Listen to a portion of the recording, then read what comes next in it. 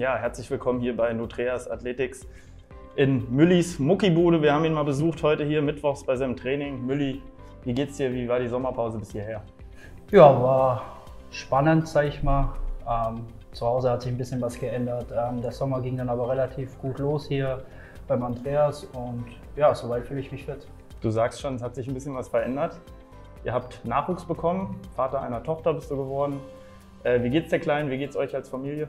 Ja, uns geht's gut soweit. Die Kleine macht sich auch super, wächst und gedeiht. Ähm, in der Nacht lässt sie uns ja, relativ viel schlafen und ja, was soll ich sagen? Also es ist was Wunderschönes. Aber in deinem Trainingsalltag oder so lässt sich das jetzt alles gut integrieren oder hat sich da was verändert? Die Kleine lässt mich trotzdem regelmäßig um 8 Uhr aus dem Haus gehen und äh, ja, ich komme dann hierher und ja, dann ziehen wir unser Programm hier durch. Wir sind eine kleine Trainingsgruppe und ja, dann verbringen wir den Vormittag hier. Cool.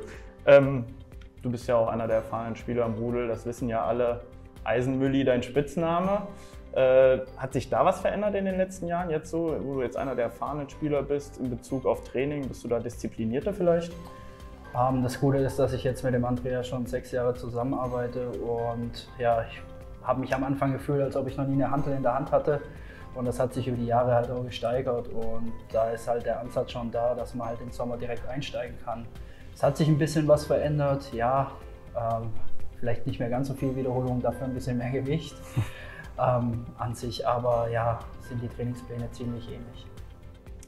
Du gehst jetzt in deine zehnte Saison in Kassel. Äh, das gibt es nicht oft äh, im Profisport. Äh, wenn du jetzt auf die letzten neun Jahre guckst, gibt es da, ja, wie bewertest du das? Gibt es da ein Highlight? Ja, also ein Highlight war ganz klar die Zweitligameisterschaft in dem zweiten Jahr von mir hier. Ähm, Highlight war natürlich auch das erste DL2-Jahr, wo wir ein Mannschaftsfoto hatten ähm, mit zwölf Mann. Und wenn man so die Entwicklung sieht, ne, ähm, der Kader ja, ist natürlich auch immer ein bisschen größer geworden. Wir haben äh, mehr Qualität auch immer bekommen. Und ja, das mit der Halle ist natürlich unglaublich, ne, wenn man da die Halle zu Anfangszeiten sieht, was natürlich Kultstatus hatte und wie sie jetzt umgebaut wurde, ist natürlich überragend umgebaut wurde oder auch noch umgebaut wird. Jetzt, ja. jetzt gerade im Sommer, hast du die Baustelle schon gesehen, den Haupteingang? Ja, das ist eine große Baustelle. Ich bin gespannt, ob es bis dahin, bis zur Saisonbeginn dann auch rechtzeitig fertig wird. Ja, wollen wir hoffen, dass das fertig wird, äh, damit ihr auch aufs Eis könnt. Wir gehen mal davon aus, äh, hast sicherlich auch schon verfolgt, wie der Kader aussehen wird. Kannst du schon was sagen zu den Neuzugängen? Kennst du schon wen?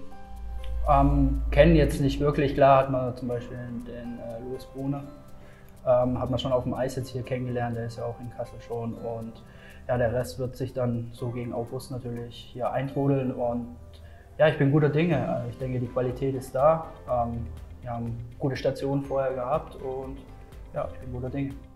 Auch Yannick Valenti kommt ja zurück nach Kassel. Ich glaube, zu ihm hast du auch einen ganz guten Draht. Der geht manchmal golfen oder kannst du uns da noch was zu sagen? Ja gut, den Yannick kenne ich jetzt schon ein bisschen länger. Ich habe mit seinem Vater ja schon zusammen gespielt und ja, wir trainieren hier zusammen, wir spielen viel Golf zusammen, wir sind zusammen auf dem Eis und ja, man mag sich, sag mal so.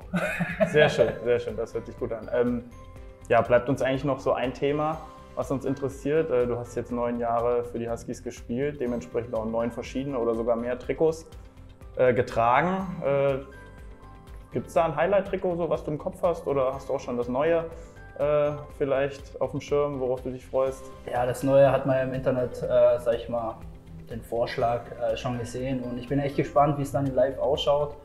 Wenn es in die Richtung geht, denke ich, dass es schon ein Highlight-Trikot wird.